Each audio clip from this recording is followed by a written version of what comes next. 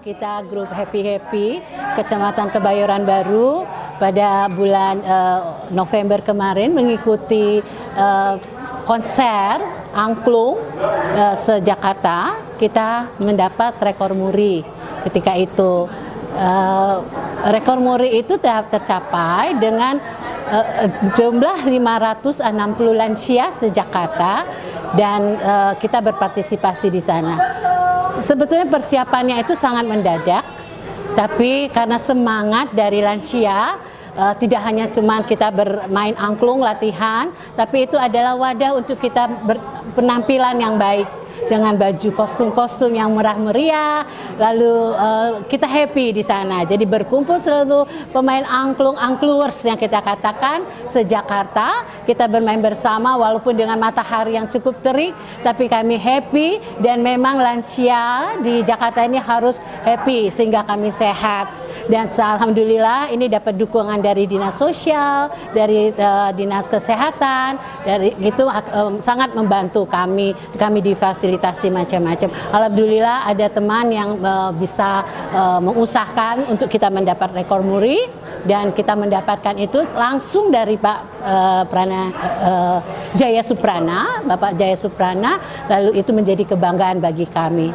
Terima kasih, semoga ke depannya kami grup angklung khususnya Happy Happy yang ada di Kebayoran Baru dan Jakarta Selatan akan berkontribusi bersama teman-teman yang lain sehingga kita juga dapat melaksanakan uh, koala konser angklung lagi untuk tahun 2023. Kami mohon doa restunya. Terima kasih. Assalamualaikum. Assalamualaikum warahmatullahi wabarakatuh.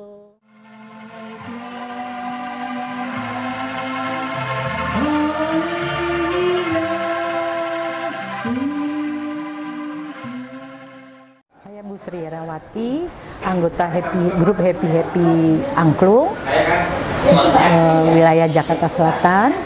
Uh, saya sangat bangga sekali karena baru aja kita mendapat rekor muri uh, khusus untuk lansia di atas 55 tahun ke atas.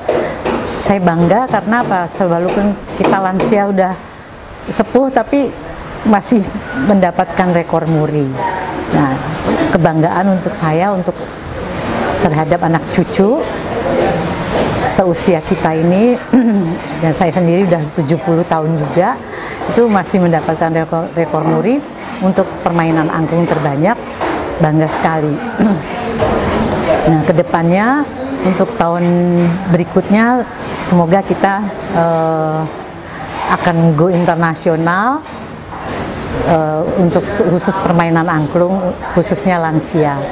Mudah-mudahan kita berhasil untuk go internasional. Karena permainan angklung tradisional ini sangat membanggakan untuk para lansia dan sangat bahagia untuk bermain angklung ini.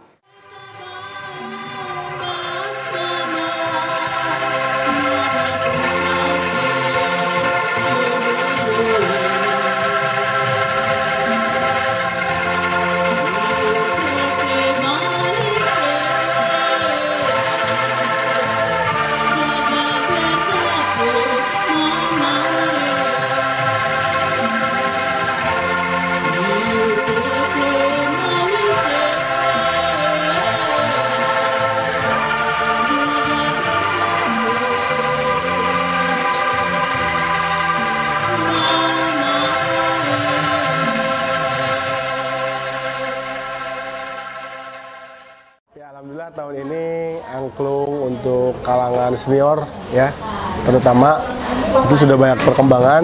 Alhamdulillah saya merintis ini udah sekitar tujuh tahunan.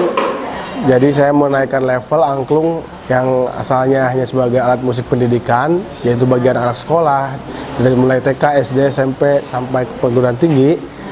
Terus juga udah berkembang juga sebagai alat entertainment ya, alat hiburan terutama mungkin yang kita tahu semua di saung angklung ujo itu angklung sebagai alat hiburan. Nah saya saya sendiri merintis itu angklung sebagai alat yang lain yaitu bisa uh, apa namanya alat sebagai media untuk berinteraksi bersilaturahmi yang fungsinya itu lebih kepada kesehatan dan uh, apa jadi senang-senang gitu. Makanya di sini mungkin ada grup namanya Happy Happy itu sebenarnya dari filosofi angklung itu. Filosofi angklung itu yang saya bawa itu 2M tambahan yaitu menyenangkan dan uh, menyehatkan. Kalau menyehatkan itu memang lebih spesifik ya kalau untuk uh, lansia itu bisa mencegah namanya demensia atau pikun gitu. Jadi kalau kita lihat perkembangan angklung ini kan memang sekarang di sekolah sih masih lumayan lah, lumayan apa namanya ada. Tapi waktu pandemi kan bener-bener uh, habis ya, maksudnya tuh bener-bener vakum. Tapi kalau uh, yang hiburan itu masih ada. Kalau kita lihat malah perkembangannya itu banyak uh, angklung-angklung dipakai pengamen itu masih ada juga. Nah kalau untuk lansia ini memang uh, khusus ya. Nah alhamdulillah dengan adanya prestasi yang sekarang bisa masuk ke Muri itu memang cita-cita yang yang ingin uh, apa namanya saya wujudkan dan alhamdulillah terwujud walaupun baru pesertanya itu baru 500 jadi ketika awal itu saya komunikasi dengan Muri ini ada pemain angklung tapi khusus kriterianya lansia itu kan sulit sangat sulit ya. Lansia itu kan metodenya juga pakai hand sign berarti mereka harus sehat.